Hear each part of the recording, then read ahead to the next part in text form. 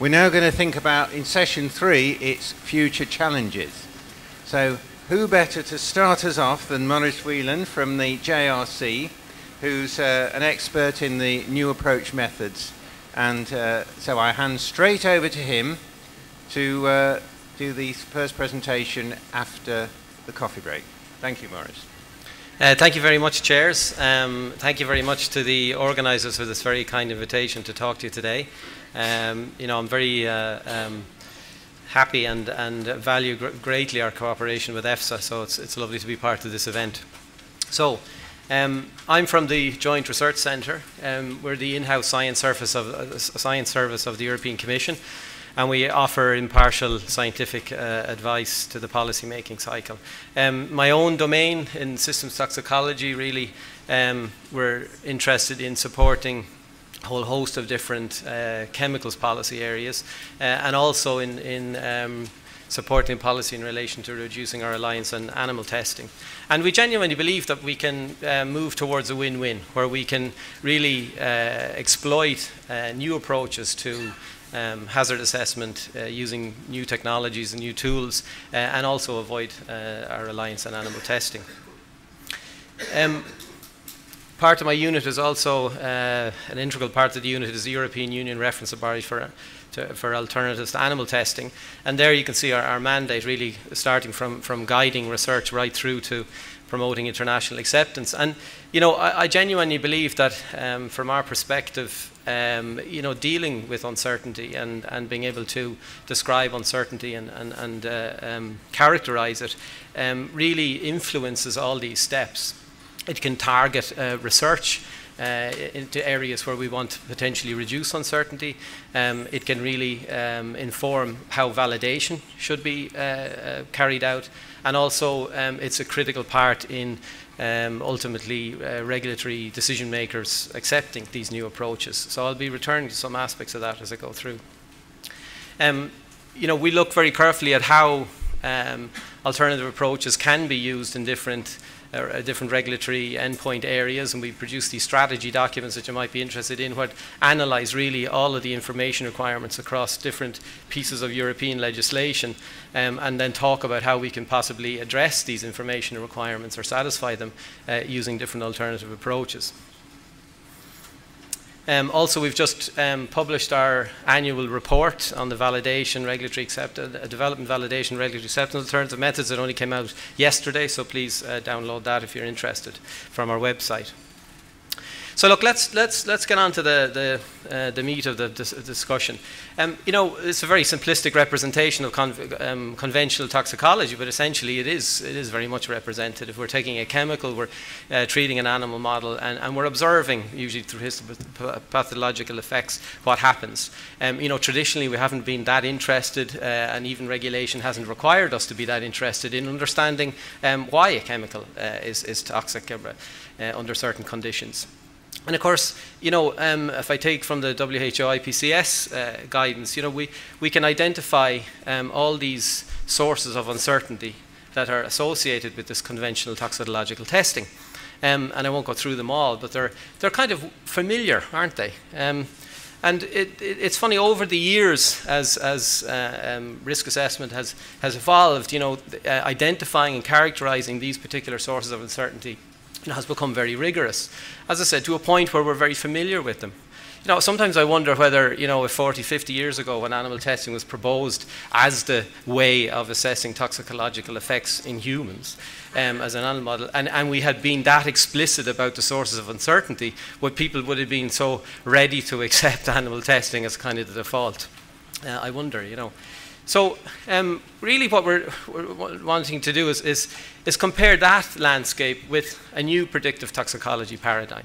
So let's talk about the, the, the, the elements or ingredients to that predictive toxicology paradigm. First of all, you know, a lot of the test data that we're getting now is not observational data from uh, animals. We're not looking at the effect that we're actually concerned about we're, we're, we're uh, getting data from uh, cell culture systems, from 3D uh, tissue models, uh, with omics readouts on the end, endpoints. We're, we're, looking at functional uh, um, uh, readouts and so on. So a whole host of new types of, of test data. We're also um, you know, looking at um, chemoinformatics and computational approaches where we can use you know, our knowledge of quantum mechanics to actually um, simulate uh, uh, interaction between endogenous and, and exogenous uh, uh, chemicals. And we can also you know, use the information we have uh, on chemical structure uh, from analogs and so on um, very systematically. Um, we also, as Harvey uh, alluded to, was you know we have got uh, PBPK modelling. We, we can look at, at ADME and, and TK and, and, and, distribution and so on. And not only is that uh, of importance for describing the, the, the, toxicological profile of a chemical, but it also informs the in vitro part of the story. You know, are we using relevant uh, concentrations in our in vitro systems, etc., etc. Very importantly, in this new predictive toxicology paradigm is theory, theoretical toxicology. It's really the understanding of mode of action, mechanistic processes, adverse outcome pathways, whatever you want to call it, but bringing our, our, our understanding of these processes into play. And by combining all those things, we predict safety. So we're not observing uh, uh um, a toxicological effect and extrapolating to human. We're actually using these primary data sources combined with our knowledge about toxicological processes to really predict uh, something. And so that is essentially the predictive toxicology paradigm. Now, that's all wonderful. We're all giving each other high fives at predictive tox conferences, but when you start bringing this to decision makers, this is usually what the reaction you get. Um, usually you get all of those reactions. Um, and uh, this is where we're at now. This is where the rubber hits the road. If we genuinely believe that we can predict things that are useful to decision makers, how can we uh, really address all of this um, disorientation, bewilderment. Um, and I genuinely believe it's through you know, looking at uncertainty um, is, is where we'll, we'll make some, some impact. So the first thing we try to address as a community, let's say at the OECD, um, is uh, basically trying to come up with a framework to put all this together. Because everybody, and from a scientific perspective, working on, on predictive toxicology, have their own way of describing what they're doing. And we all know that one major barrier for any type of, of uh, um, decision maker is that if you can't explain to them how you're arriving at your prediction, then it's, it's, you know, you're not at the races.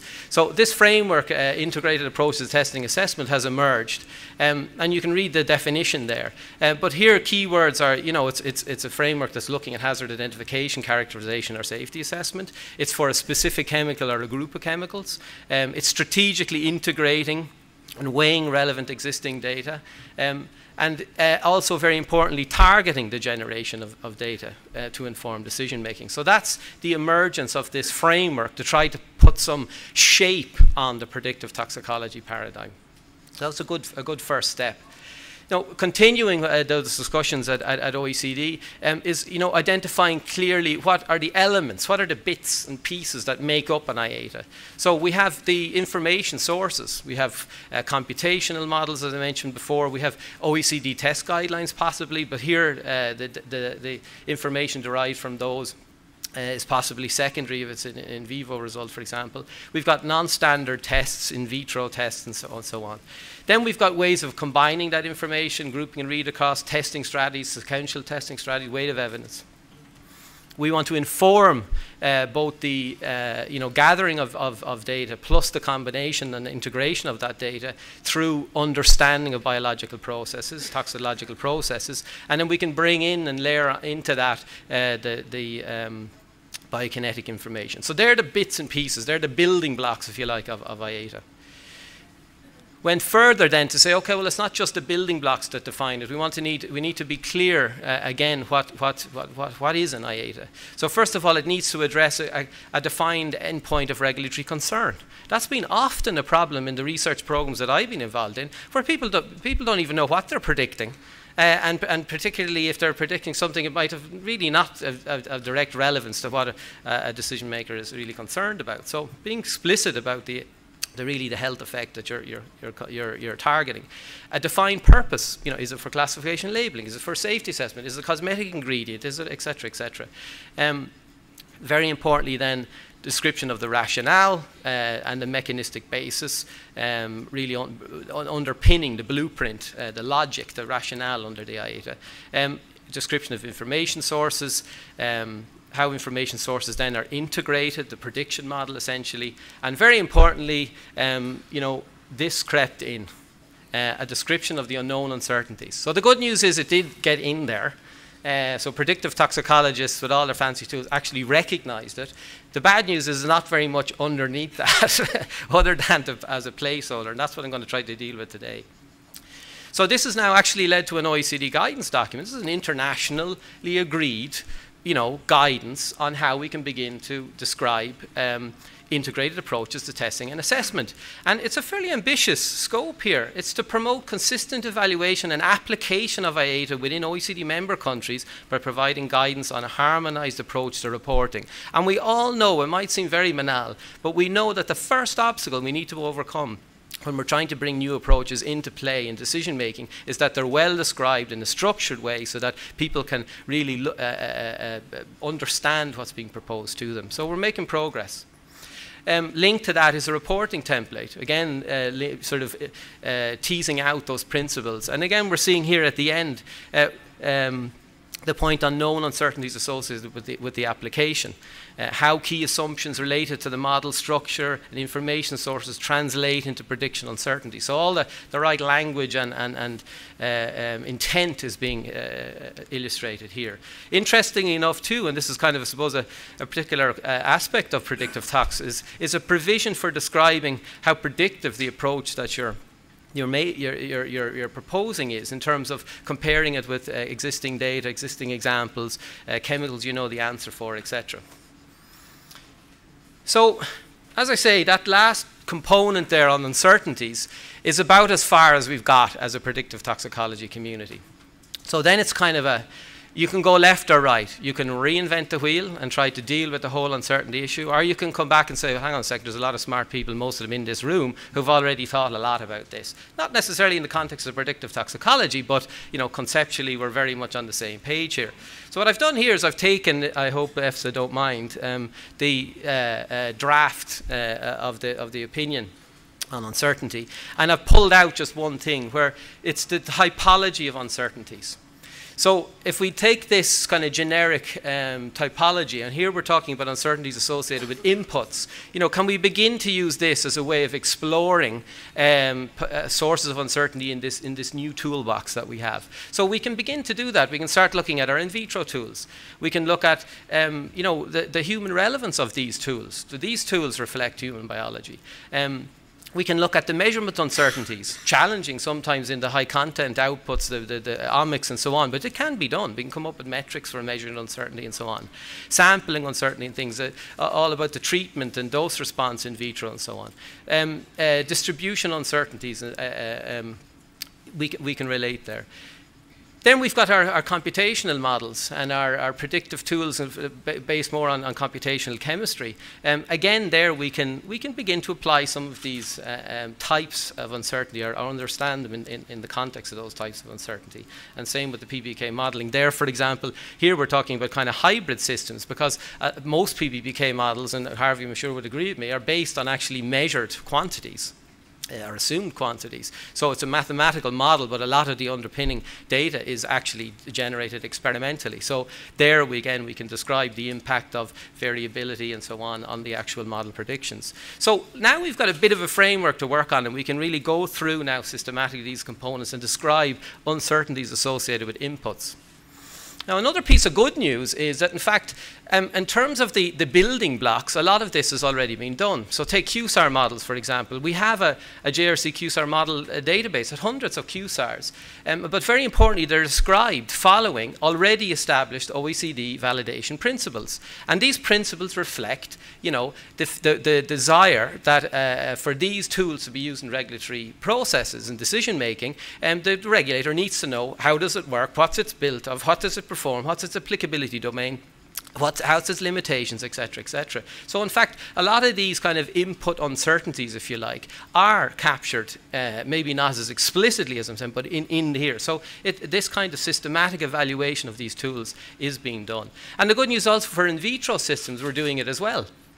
Um, again, in vitro systems have been systematically described in terms of their performance, their components, their scientific relevance, etc., etc. Um, and recently at the OECD, was, I think was a major breakthrough, was that was an acknowledgement that we have so many in vitro tools today that aren't test guidelines. We really need to get seriously serious about trying to facilitate their inclusion in decision making. So this was a guidance document to say, look, at least let's describe them in terms of what they are and how they perform, so that they can be used used in context of an integrated assessment and testing strategy. So we're, we're definitely on the right road. Now, put this slide in because um, I actually created a slide about two years ago um, in discussions about validation of methods and new methods and validation paradigm needs to change and it's too slow and etc etc and and what I was acknowledging was that you know let's not throw the baby out with the bathwater that we have we have principles that are scientifically based you know if you can't reproduce your result I'm not going to believe you Okay, I, I, you know that, that, that's that's kind of a principle that we have. If it's not relevant mechanistically, I, and biologically plausible, I'm not going to believe it. So these are these are principles that as scientists we, we, we cherish. However, the way we've been doing validation and the purpose of validation, that's something that's subjective. That's something that should evolve. Okay? Now, Generally speaking, when we're doing validation, we want to characterize reliability and relevance. Now, reliability in this context, OECD language, is more about reproducibility, technical reliability. And relevance is all about scientific relevance, predictive capacity, etc. But what hasn't been addressed really is validation as a process for characterizing uncertainty in in vitro systems. And I think that's where opportunity lies. So, you know, this idea of validating a method so that it's then standalone and predictive of, a, of, a, of an endpoint in an animal, forget about it. Now we can see validation as a process of informing uh, this uncertainty. Okay, qualitative, quantitative. And you know, we can do that. Validation studies, in a sense, do that, but that's usually the information that's in the annex or left out or something, you know. So let's go back to our um, EFSA guidance guided, you know, uh, consideration of, of, of, uncertainties in predictive tox systems. And here now, you know, that the, the, there was these other typology, other types of uncertainty associated with how I combine the inputs. Some from an IATA, from a predictive tox, this is where, you know, uh, the things get very interesting. This is our predictive model, you know. Um, and again, there are many different types. But as I said before, we can talk about weight of evidence models, and, and a lot of uh, eloquent speakers talked about that just a moment ago. Grouping and read across categorization, testing strategies, and many other boxes. These are kind of model uh, uh, designs that we can. Um, we can, of course, get very probabilistic, and we should. We look about Bayesian, and we can bring that into play. Um, and very importantly, I bring back in here again the models in in modern, um, you know, predictive toxicology. Um, for me to have credence have to have biological plausibility, a biological base. So therefore, we, the, the, the, the, the um, uh, theoretical understanding of biology is very important in these models. And again, we can go through these and talk about, well, ambiguity. Luckily, you know, as I said, we're dealing with in terms of describing these uh, approaches for, for doing predictive modeling. Um, but, you know, the words aren't exactly matching, but the structure of the assessment could be you know, the construction of your model. What was the rationale behind it, you know, um, uh, and, uh, etc. But you, you get where I'm going with this. Uh, by the way, this I've never done this. Actually, applied this. This is uh, still at the con conceptual level, but um, I'll see how you think about it, and if you like it, then I might do it. So. I, I go back to the WHO thing because um, you know, you know, as much as we're appreciating that there's a convergence here, this is exciting. You know, um, on the other hand, there are differences, and we need to appreciate those too. And you know, I just pulled out this because what's interesting here is mode of action is kind of on the outside. It's a kind of a, often a nice to have, not necessarily need to have. I'm generalizing.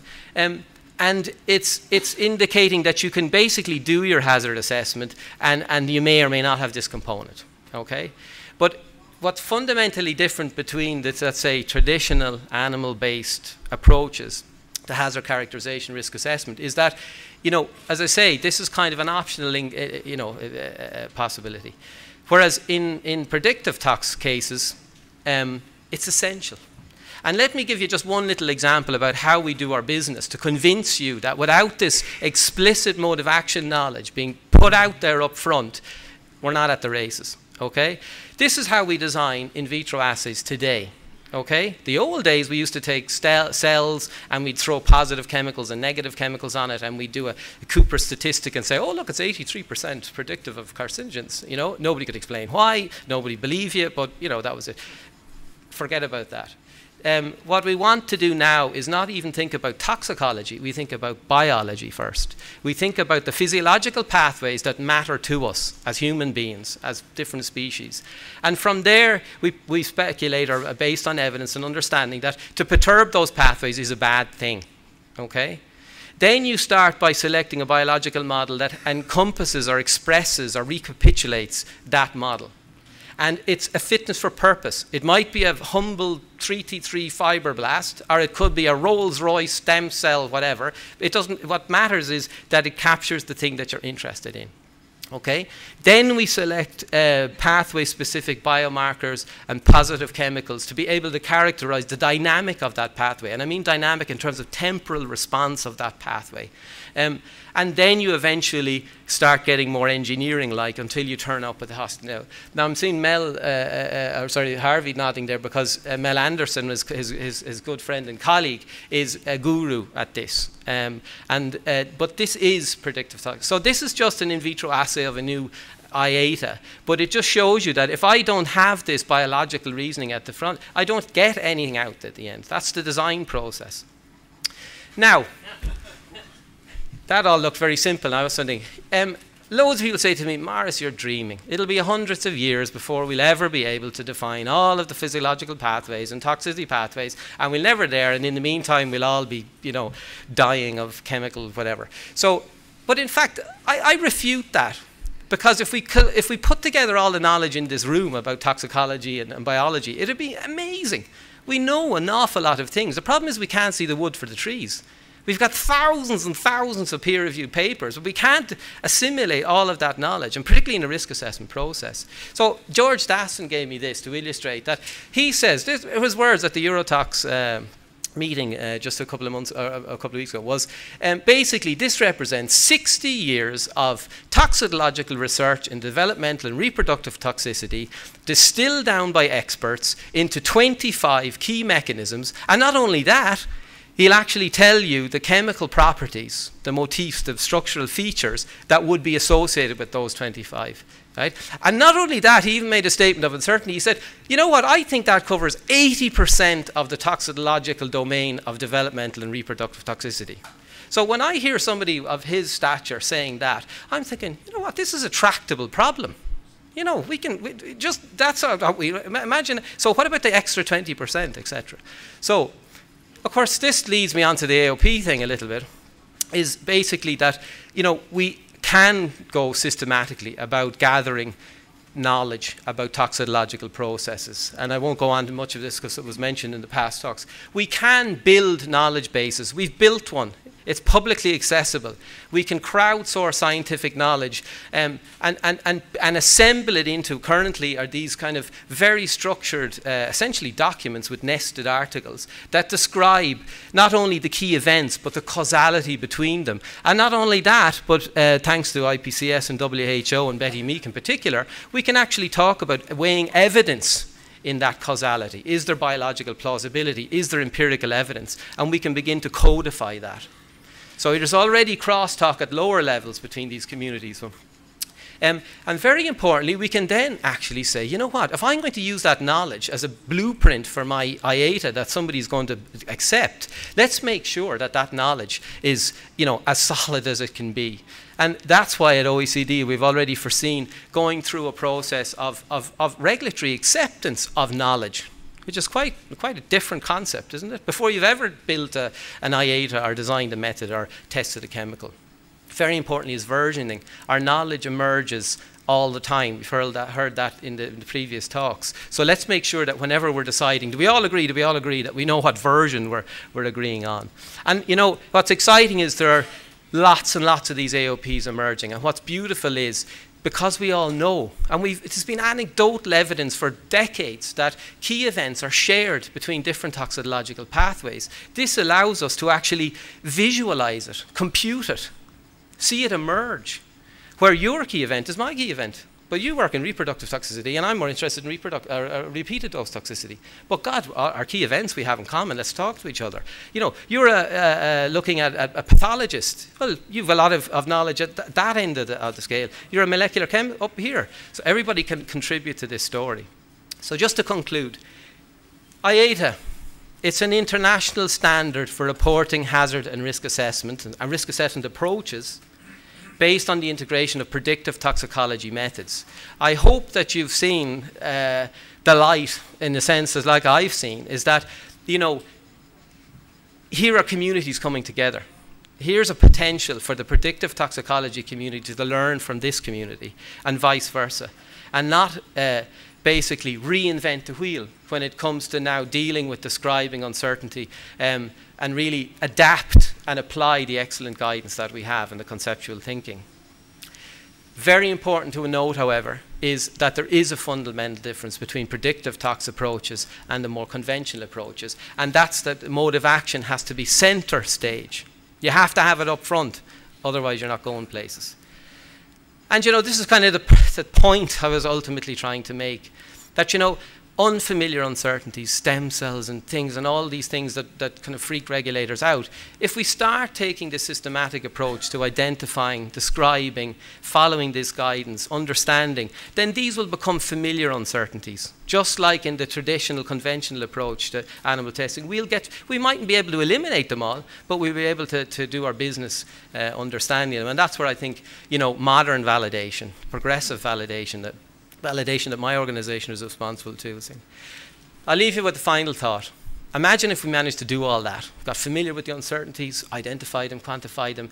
We all get, get getting comfortable now at the fact that we can begin to say probabilistically that if we measure a, a, a, a hazard profile of a chemical upstream in terms of its inhibition of key functions, etc., etc., and we can probabilistically relate those to apical endpoints, the things that we're concerned about as regulators, we might actually, you know, um, evolve to a system of describing chemical toxicity uh, in a completely different way.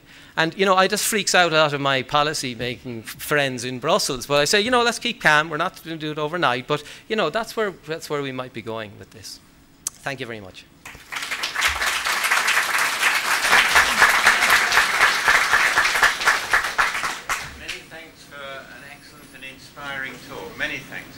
Now we've got time for a few, a couple of questions.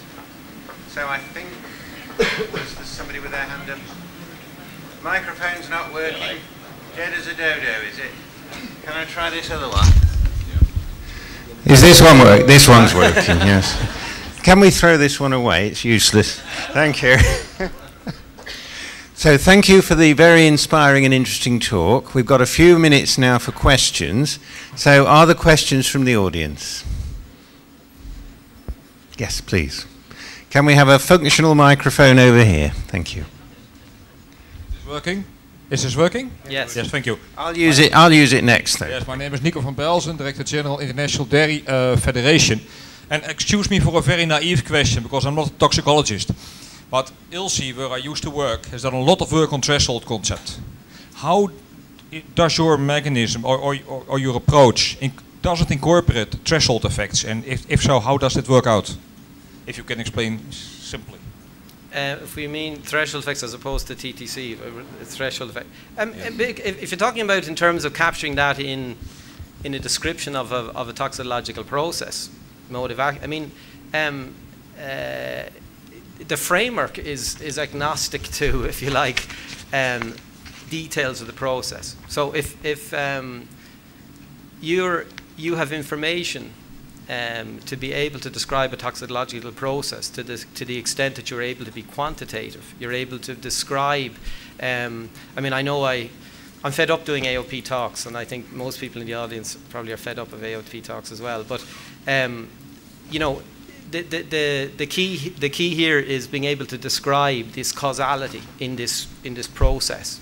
And so the more quantitative information you have, well, qualitative as well, you can say, look, these, these are key events. This definitely causes that. That's a qualitative statement. Then you start saying, well, is it a thresholded effect? I mean, is it a cumulative effect? Is it a Cmax effect? Is it an AUC? You know, that, that language um, is then incorporated into the description of these key event relationships. So the framework foresees that. Now, the million dollar question, to be honest with you, and a lot of people, let's say, who would be, be, be skeptical of this, is that they might agree that qualitatively we can do a fairly good job at describing key events and, and, and, and causality between them. But are, uh, will we be ever be able to do a quantitative, you know, or come up with a quantitative description? And, you know, my point is simply, well, you know, it is hard. But, you know, we haven't really been asking that question. We haven't been asking researchers to actually go in and listen, will you measure Will you measure the, the degree of protein binding that you need to, you know, activate dendritic cells and, and so on in a skin sensitization pathway? Could you go and measure that, please?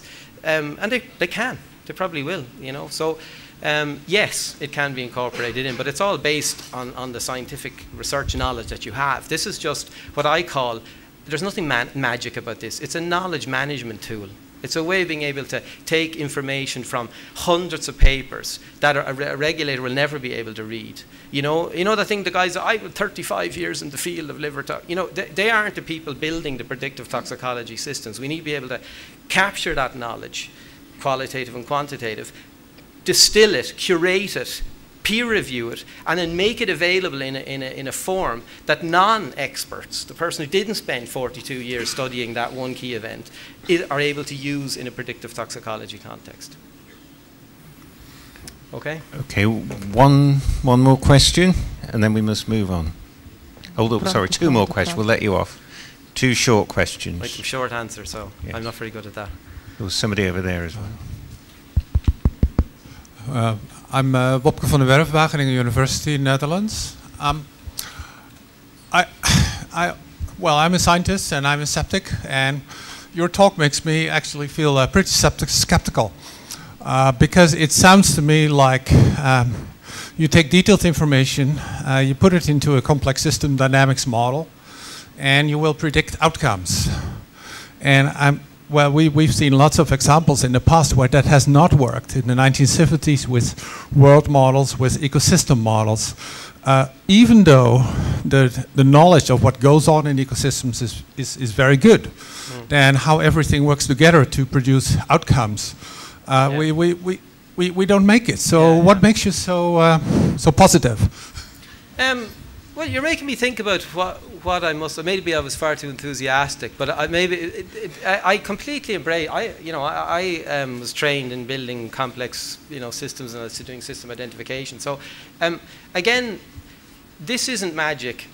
If there, there are two ways this prediction. First of all, I'd say, you know, pr prediction has to be qualified with the uncertainty. You know, um, every risk assessment to some extent is, is, is, predicting something or saying the likelihood of something will happen or not. So nothing's different here. This is not a, if you buy into this, it doesn't mean you believe in determinism, deterministic systems, and, and you know everything will, you'll always get the same answer, etc. Um, I mean, in these representations of processes, you're capturing what you know about the system.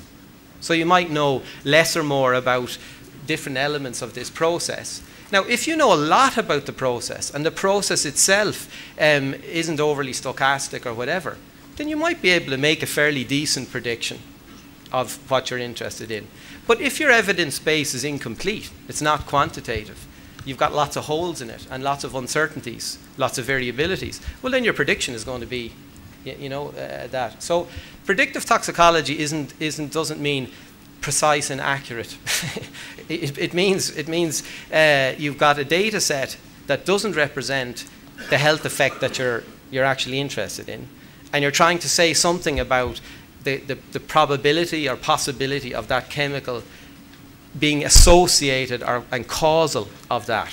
And I think uh, Harvey's slide with the third, you had the predicting safety or whatever, is, is reflective of that. It's, you know, and, and the, the, the tradition has been, the thinking has been that if I have upstream information from an in vitro system like protein binding or cytotoxicity, I'm going to be far less able to say something about an apical endpoint than if I measure an observation, a histopathological observation in an animal study. because people think, oh, well, that's closer to the truth. But that's been really challenged, isn't it? It's been really challenged that maybe these familiar uncertainties have lulled us into this false sense of security. You know, then in fact maybe measuring protein binding, we can show this for skin sensitization as, a, as an example, that being able to compute protein binding and make a prediction of skin sensitization is far more reliable than doing either the in vitro test or even the in vivo test. So we need to challenge uh, this. And, and so forgive me if the impression is that this is a perfectly deterministic uh, constant, you know, easily predictable world. It isn't, but, but the framework, uh, you know, uh, doesn't preclude bringing uncertainty and probabilistic thinking into play, that's for sure. Okay, I think we're almost moving on to the panel discussion now. Yeah, okay. That's brilliant answer. Thank you very much, and we'll move on to the next speaker.